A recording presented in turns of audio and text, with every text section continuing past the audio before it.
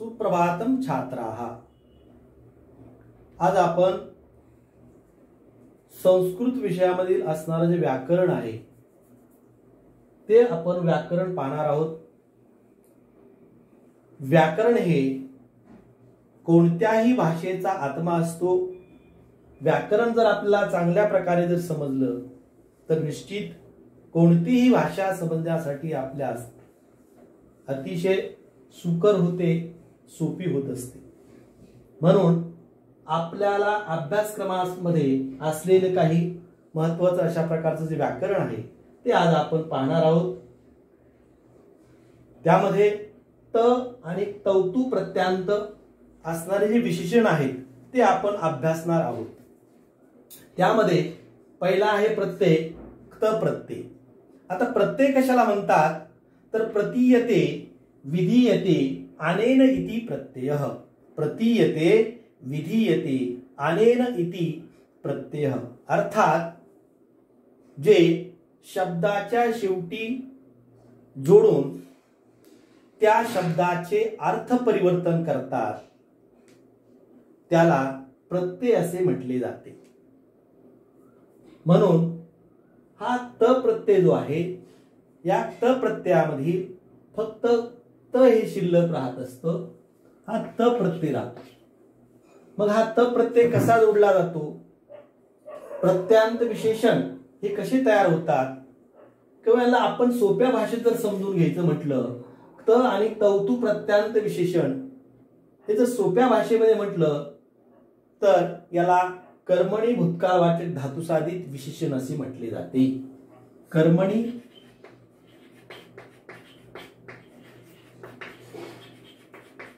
भूतकाल वाचक धातू साधित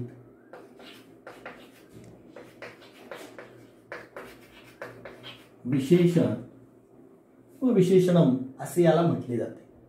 कशाला? तर त प्रत्यांत विशेषणाला. सोपं आहे.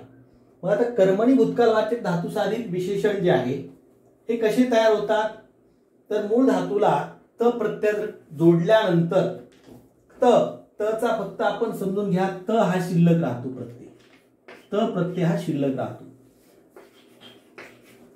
त मध्ये क चा लोप होतो आणि त राहतो. मग उदाहरण आपण पाहूया की धातू घेतला आपण ज्ञा धातू. ज्ञा धातू हा नवव्या गणातला आहे. ज्ञा धातू नववागण उभयपद तर ज्ञा धातू आपण घेतला आणि त्याला त प्रत्यय जोडला अर्थात कर्मणी भूतकालवाचक धातू साधित विशेषण तयार करत असताना मूळ धातूला त प्रत्यय जोडला असता कर्मणी भूतकालवाचक धातू साधित विशेषण तयार होतात. मग ज्ञा धातू हा मूळ धातू आहे त्याला त प्रत्यय जोडला ज्ञात तयार झालं. बरोबर? काय तयार होईल? ज्ञात. दुसरा अजून आपण एखादा धातू आपल्या परिचयाचा घेतला. क्रू धातू आहे. आपण अभ्यासलेलाच असेल. क्रू धातू आहे. क्रू धातू हा आठव्या गणातला आहे. क्रू अधिक त बरोबर? कृत असं तयार होते लक्षात कृत कृत तयार झालं. हे काय आहे? कर्मणी उत्कालवाचक धातू साधित विशेषण किंवा त प्रत्यांत विशेषण. त प्रत्यांत असं काय म्हणायचं? तर हा त प्रत्यय शेवटी आहे. म्हणून हे त प्रत्यांत विशेषण तयार झालेलं आहे. अजून आपण याचा अर्थ बघूया. कर्मणी भूतकालवाचक धातू साधित विशेषण म्हणजे काय? तर कर्म अर्थ प्रधान असताना हा त प्रत्यय येतो. म्हणून याला कर्मणी म्हणतात. भूतकालवाचक काय म्हणतात? तर भूतकाळ भूतकाळाचा बोध करून देतात. म्हणजे ज्ञात याचा अर्थ काय होतो? जाणले असा अर्थ होतो. म्हणून हे भूतकाळ वाचक अर्थात भूतकाळाचा बोध करून देतात म्हणून त्यांना भूतकाळ वाचक म्हणतात. धातू साधित का म्हणतात? धातू आहे ज्ञाधातू. त्या ज्ञाधातूला त प्रत्यय जोडल्यानंतर हा ज्ञात अशा प्रकारचा हा शब्द तयार होतो किंवा विशेषण तयार होतो. म्हणून त्याला धातू साधित म्हणतात. विशेषण का म्हणतात? तर ते नामाच्या पाठीमागे येतात. म्हणून याला विशेषण असं म्हटलं जातं.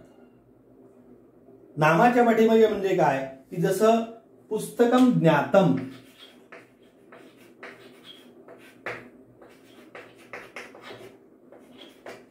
पुस्तकम ज्ञातम. पुस्तक शब्द आहे त्याचं विशेषण आहे ज्ञातम. म्हणजे हे नामाच्या पाठीमागे येतात म्हणून याला विशेषण असं म्हटलं जात. म्हणून कर्मणी भूतकालवाचक धातू साधित विशेषण अर्थात कर्म अर्थप्रधान असताना अर्थ प्रत्यय येतो भूतकाळाचा बोध करून देतात म्हणून भूतकालवाचक धातुसाधित धातूला प्रत्यय जोडून तयार होतात म्हणून धातुसाधित आणि नामाच्या पाठीमागे येतात म्हणून याला विशेषण असं म्हटलं जातं. आता हे विशेषण म्हटल्यानंतर तिन्ही लिंगामध्ये चालते पुल्लिंगी स्त्रीलिंगी आणि नपुंसक लिंगामध्ये हे या याचे रूप या ठिकाणी होत असतात. म्हणजे ज्ञात आहे. पुल्लिंगामध्ये याचं रूप काय होते ज्ञात स्त्रीलिंगामध्ये ज्ञाता नपुंसक लिंगामध्ये ज्ञातम. अशा प्रकारे या ठिकाणी पुल्लिंगी स्त्रीलिंगी नपुंसकलिंगी.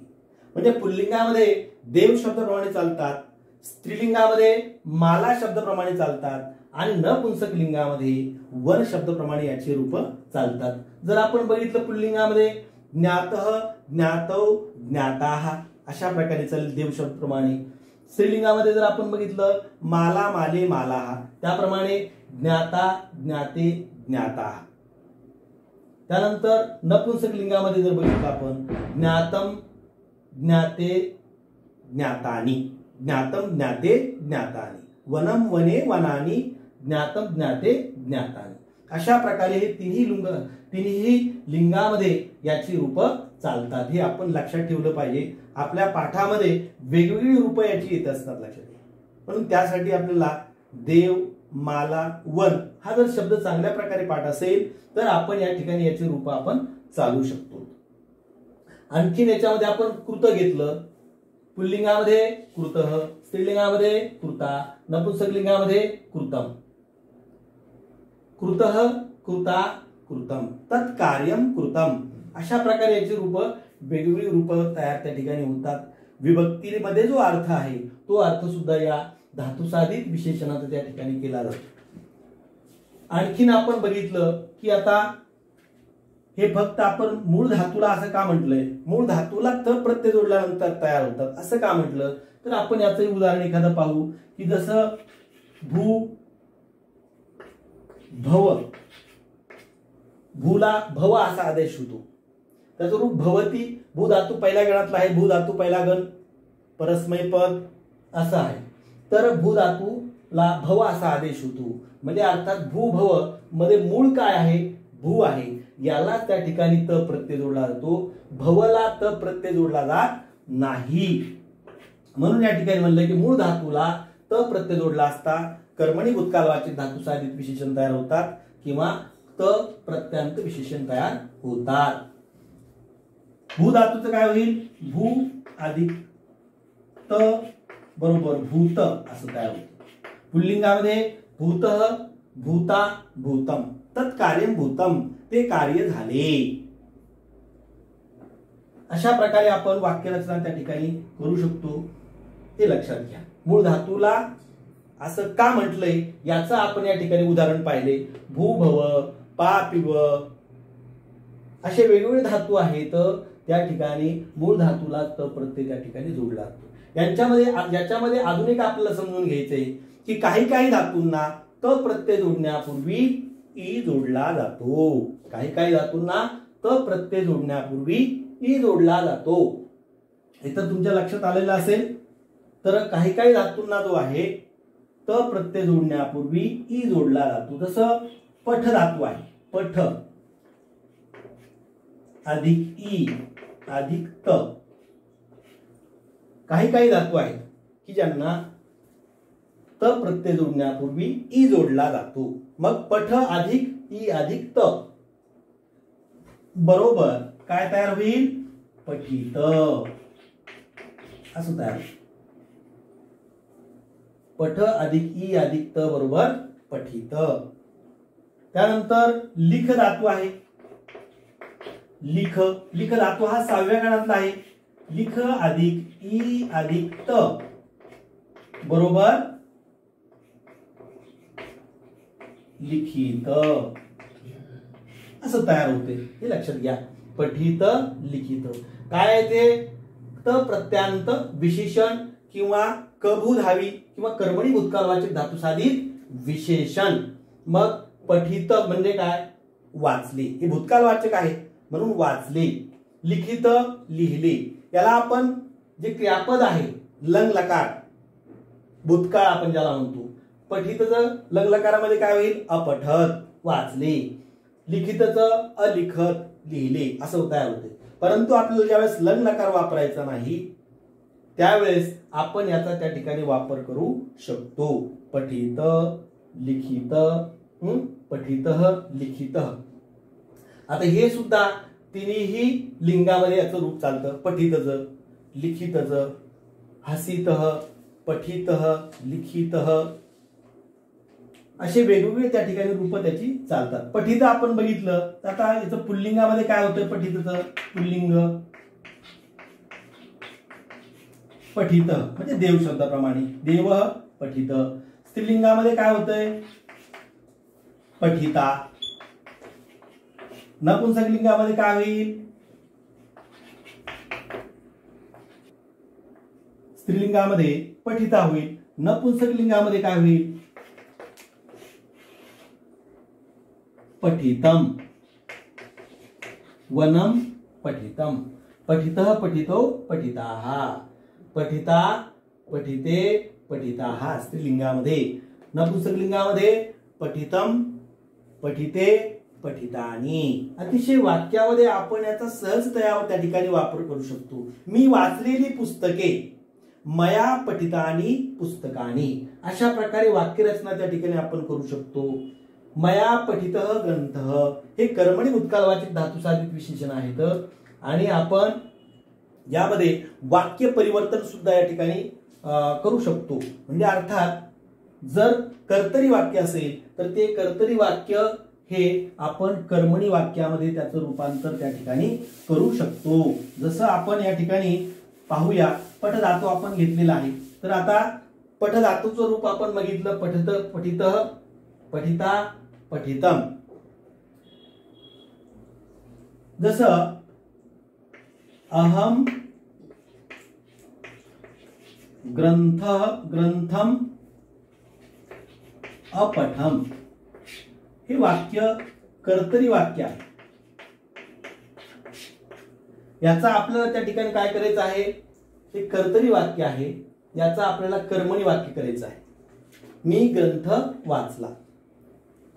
याचा आपल्याला कर्मणी करायचं आहे. मग कर्मणी करत असताना आपण हे कर्मणी कर्मणी भूतकालवाचक धातुसाधित विशेषणाचा आपण त्या ठिकाणी वापर करू शकतो. मग हे करत असताना आता कर्तरी वाक्यामध्ये आपल्याला माहिती आहे कर्तरी वाक्यामध्ये कर्ता हा प्रथमा विभक्तीमध्ये असतो कर्म हे द्वितीया विभक्तीमध्ये असते आणि कर्मानु कर्त्यानुसार क्रियापद येत असते. कर्त्यानुसार क्रियापद येते म्हणजे कर्ता एक वचनी असेल तर क्रियापद सुद्धा त्या ठिकाणी एक वचनी येत असते. परंतु कर्मणी वाक्यामध्ये मात्र बदल होत असतो. याचा आपल्याला कर्मणी वाक्य करायचं आहे तर त्यावेळेस काय होईल? की कर्मणी वाक्य आपल्याला ज्यावेळेस करायचं असेल तर त्यावेळेस अहम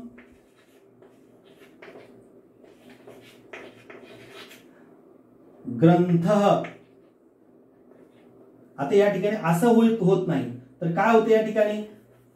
अहम च्या ऐवजी या ठिकाणी. कर्त कर्मणी वाक्य करत असताना कर्मणी वाक्य करत असताना आपण या ठिकाणी कर्मणी वाक्यामध्ये कर्त्यामध्ये तृतीया विभक्ती होत असते. अर्थात अस्मत सर्वनाम आहे. त्या अस्मत सर्वनामाची तृतीया विभक्ती एक वचन काय होते? तर मया असं होते लक्षात घ्या.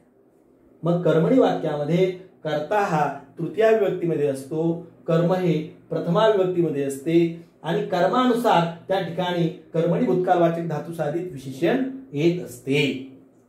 म्हणून मया याचं काय होईल या ठिकाणी प्रथमा विभक्ती मया ग्रंथ. आता इथं आपण पठित असं लिहिले. अत्र किम लिखितमस्ति अत्र पठित केवलम. अत्र पठित इति न भवति कथं न भवति? अत्र ग्रन्थः शब्द अस्ति. यः ग्रन्थशब्दः अस्ति तत् पुल्लिङ्गे अस्ति। पुल्लिङ्गे अस्ति अतः अस्य ग्रन्थस्य ग्रन्थशब्दस्य विशेषणम् अपि पुल्लिङ्गी आगमिष्यति। अतः अत्र किं भविष्यति? ग्रन्थः मया ग्रन्थः पठितः। मया ग्रन्थः पठितः। इति वाक्यं भवति। मया ग्रन्थः पठितः। अत्र कर्तरी वाक्यमस्ति अत्र कर्मणि वाक्यमस्ति मया ग्रन्थः पठितः। अत्र स्त्रीलिंगी शब्दं पश्यामः वयं स्त्रीलिंगी शब्द अत्र प्रयोगं कृत्वा किं भवति? एतत् पश्यामः। हे पाहूया आपण या ठिकाणी ग्रंथ शब्द होता। ग्रंथाच्या ऐवजी आपण या ठिकाणी श्रीमद भगवत गीता हा शब्द वापरूया. गीता शब्द वापरूया. तर मया गीता. किं भविष्यति मया गीता. अत्र पठितः पठिता पठितम.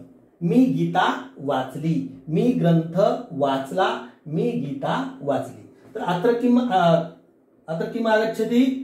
पठिता इति. गीता शब्द स्त्रीलिंगी अस्ति. स्त्रीलिंगी प्रथमा विभक्ति एकवचनमस्ति. अतः अस्य शब्दस्य विशेषणमपि स्त्रीलिङ्गी प्रथमा विभक्ति एकवचनमेव आगमिष्यति।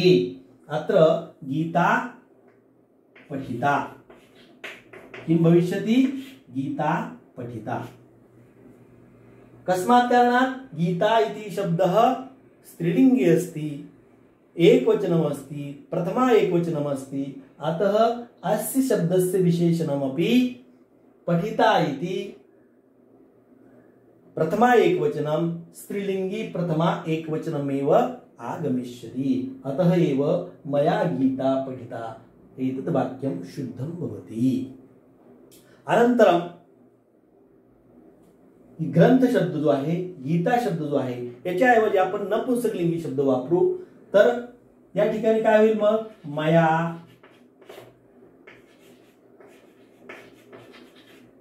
पुस्तकम मया पुस्तकम पुस्तक शब्द जो आहे तो पुस्तक शब्द काय आहे? नपुंसकलिंगी आहे. पुस्तक शब्द नपुंसकलिंगी आहे. मग त्याचं येणारं जे विशेषण असेल ते सुद्धा नपुंसकलिंगीचे येणार. प्रथमा विभक्ती एक वचनामधीलच नपुंसकलिंगी त्याचं विशेषण येईल मग मया पुस्तकम पठितम. किम आगमिष्यति मया पुस्तकम पठितम. पठितमिति रूपम तत्र आगमिष्यति. पठितमिति कथम आगच्छति इति प्रथमा विभक्ति एकवचनमस्ति। अतः एव अस्मात् कारणात् एव पठितम् अत्र आगच्छति। पठितं भवति। किं भवति? मया पुस्तकं पठितं। पठितं यत्र शुद्धं भवति। हे तिन्ही वाक्य आपण या ठिकाणी बघितली. आपल्याला ज्यावेळेस वाक्य परिवर्तन करा. असं जर आलं तर त्या ठिकाणी आपण अशा प्रकारे करू शकतो. कर्तरीचं कर्मणी कर्मणीचं कर्तरी. हे वाक्य परिवर्तन या ठिकाणी आपण बघितलेलं आहे. म्हणजे अशा प्रकारे परिवर्तन आपण करू शकतो व कोणताही धातू त्याच्यामध्ये तुम्ही घ्या. भू असेल भू धातू असेल भूत भूता भूतम तत्कार्यम भूतम असे वेगवेगळे अशा प्रकारचे आपण त्या ठिकाणी वापरू शकतो. आपण लिख धातूचं उदाहरण घेतलं. लिख धातू हा सहाव्या गणातला आहे. सहावा गण प्रश्नपद. या ठिकाणी लिख धातू जर घेतला आपण लिख धातूचं मया ग्रंथ लिखित. मया गीता लिखिता. मी गीता लिहिली. मी ग्रंथ लिहिला. मी पुस्तक लिहिले. मया पुस्तकम लिखित. अशा प्रकारे आपण वाक्यामध्ये या यांचा त्या ठिकाणी वापर करू शकतो. तर अशा प्रकारे आपण कर्मणी भूतकाळवाची धातुसा विशेषण किंवा तर प्रत्यांत विशेषण कशा प्रकारे तयार होतात हे आपण या ठिकाणी पाहिलेलं आहे. मला वाटतं त्या ठिकाणी आपल्याला समजलेलं असेल. म्हणून आपण जर एक कोणताही धातू चांगल्या प्रकारे जर आपण त्या ठिकाणी म्हणजे पाहिला पाठ जर केला तर आपल्याला प्रत्येक धातूची त्या ठिकाणी वेगवेगळी अशा प्रकारची रूप. तर आपण कर्मणी उत्कालवाचक धातूसाधित विशेषण कसे तयार होतात ते आपण पाहिलेले आहे. त्यानंतर आपण तवतू प्रत्यांत अर्थात कर्तरी भूतकाळवाचक धातुसाधित विशेषण कसे तयार होतात ते आपण पाहणार आहोत. तवतू प्रत्यांत. तवतू प्रत्यांत म्हटल्यानंतर त्या ठिकाणी तवतू प्रत्यय जो आहे त्यामध्ये फक्त तवत अशा प्रकारे शिल्लक राहते. काय शिल्लक राहते? तवत. म्हणजे तवतू प्रत्यय जो आहे त्यामधील क आणि उचा लोप होतो. केवळ तवत असं त्या ठिकाणी शिल्लक राहते. अर्थात तवतू प्रत्यांत म्हणजे काय? तर कर्तरी भूतकाळवाचक धातू साधित विशेषण. कर्तरी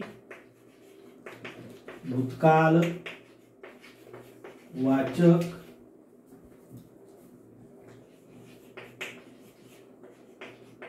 धातू साधित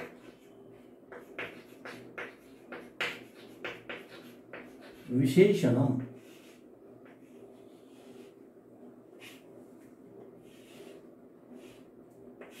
कर्तरी भूतकाळवाचक धातू साधित विशेषण. अर्थात तवतू प्रत्यांत विशेषण. आपल्याला तवतू प्रत्यांत म्हटल्यानंतर एवढं स्पष्टीकरण होत नाही. साध्या सोप्या भाषेमध्ये कर्तरी भूतकालवाचक असं जर म्हटलं तर आपल्याला ते समजतं आहे. म्हणून तवतू प्रत्यांत मधला काय राहिला तर तवत त्या ठिकाणी राहिलेला आहे. याच्यामध्ये आपल्याला समजून घ्यायचं असेल तर तवत प्रत्यय शिल्लक राहिलेला आहे. आता मग मूळ धातूला तवत प्रत्यय जोडल्यानंतर कर्तरी भूतकालवाचक धातू साधित विशेषण तयार होतात हे लक्षात घ्या की पहिलं कर्मणी भूतकालवाचक धातू साधित आपण शिकलेलो आहोत. त्यानंतर कर्तरी भूतकालवाचक आहे. पहिलं कर्मणी होते या ठिकाणी आता कर्तरी होतं. रूपामध्ये त्या ठिकाणी भिन्नता आहे. रूपामध्ये भिन्नता त्या ठिकाणी आहे. म्हणून हे लक्षात घ्यायचे आपण की कर्तरी भूतकालवाचक धातू साधित विशेषण जे आहे हे तवत प्रत्यय जोडल्यानंतर तयार होतं. मग मूळ धातूला तवत प्रत्यय जोडला की हे कर्तरी भूतकालवाचक धातू साधित विशेषण तयार होतं. जसं आपण ज्ञा धातू घेतला ज्ञा अधिक तवत बरोबर ज्ञातवत असं तयार होत. ज्ञा अधिक तवत बरोबर ज्ञातवत गम धातू घेतला गम अधिक तवत बरोबर गतवत तयार होतो. गम धातू मधला मचा लोप होत असतो. लोप म्हणजे अदृश्य होत असतो. नष्ट असा त्याचा अर्थ होत नाही. गतवत तयार झालं. तर या ठिकाणी बघितलं आपण कर्तरी भूतकालवाचक धातू साधित विशेष. आता ज्ञातवत म्हणजे काय? गतवत म्हणजे काय? तर हे काय तयार झालेलं आहे? कर्तरी भूतकालवाचक धातू साधित विशेषण हे तयार झालेलं आहे. ज्यावेळेस याची विभक्तीमध्ये रूप तयार होतात ज्ञात याचं काय तयार रूप होतोय ज्ञातवान असं तयार होतं लक्षात ज्ञातवान. पुल्लिंगामध्ये ज्ञातवान असं रूप तयार होतं. स्त्रीलिंगामध्ये काय रूप तयार होते ज्ञातवती. नपुंसकलिंगामध्ये काय रूप तयार होते